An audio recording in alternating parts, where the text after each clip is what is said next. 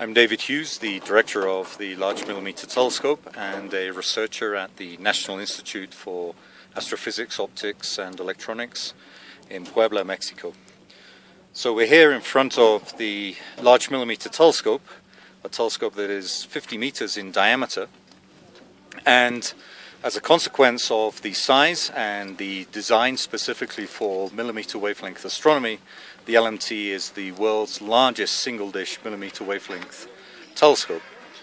Uh, the telescope is a binational project between Mexico and the United States.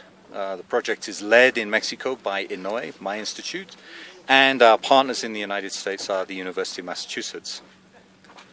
The LMT is, is a, uh, a telescope designed specifically to study questions related to the formation and evolution of structure throughout the entire history of the universe during the last 13.7 billion years.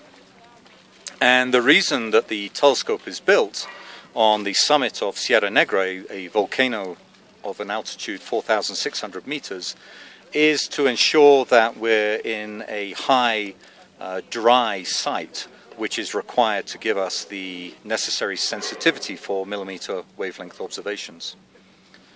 The telescope is, as I said before, is 50 meters in diameter, but we will begin the scientific life of the telescope in the coming months using only the interior 32 meters diameter.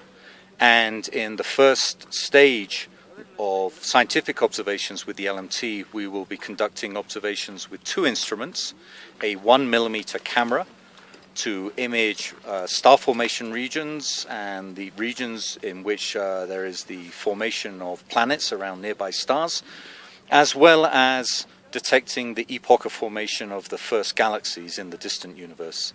And the second instrument that we will be using is a 3 millimeter spectrometer that will detect the molecular line emission and the chemistry of star formation regions in the local and distant universe.